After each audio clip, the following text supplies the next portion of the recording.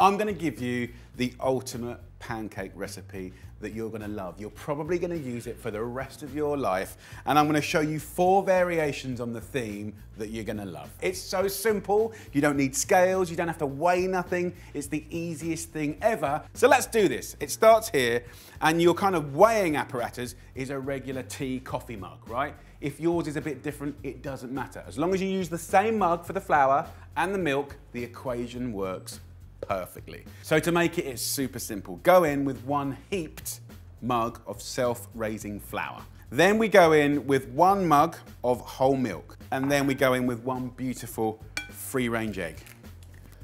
And then a little pinch of salt. So we'll whisk that up until it's nice and smooth.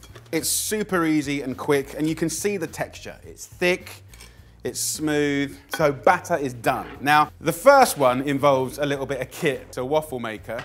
So from this batter, before it becomes a pancake batter, you can absolutely use it for waffles. It couldn't be simpler. Just put a little bit in a preheated waffle iron, about that much, and down it goes, right? You're gonna get amazing waffles out of that, right? So secondly, we're gonna go over to a pan, medium, medium high heat, and we're gonna do some beautiful fluffy pancakes. So just take a little dessert spoon, just let that fall on there like that. What's brilliant about this batter is as soon as the self-raising flour hits the heat of the pan, it activates the raising agent and it will literally double in size. Let's go to a sandwich maker. So look, let's just take some everyday thing. We go in with some mushrooms. Uh, you can go in with some ham. Um, we go in with a little bit of cheese. Then we go in with our batter, just like the waffle, right? Fill it up. It will kind of cook into all the little cracks and crannies and make you the most beautiful kind of fritter cum sandwich savory. It is gonna be so good. As those cook, this has had about a minute, minute and a half. You can see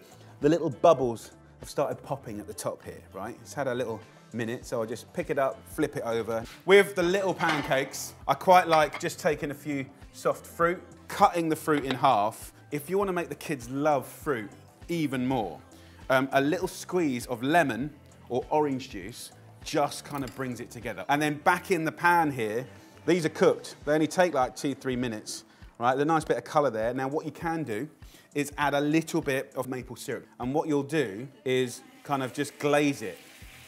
It means you don't have to add the sugar later and you can toss it around. So look, what I tend to do with this one is just add a little bit of yogurt to the plate and then a few little bits of fruit. Now don't use your hands because that caramel is golden and hot. So look, there is the first one, right? Very simple. If you want to, you can take a little pinch of cinnamon and just give a little sprinkling over the top. If I have a look at the waffle, I might put butter over this little mixture just to kind of get it nice and shiny and then just give it 20 seconds.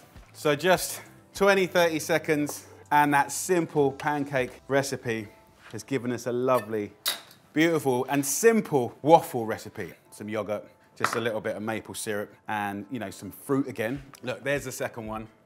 And then this one in there.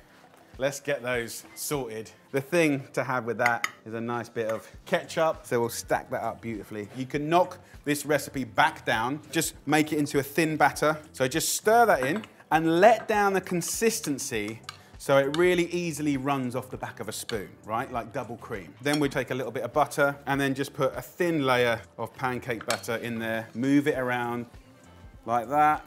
And as it cooks, it kind of peels back and it gets crispy. And then once it's golden, come on, do your little toss.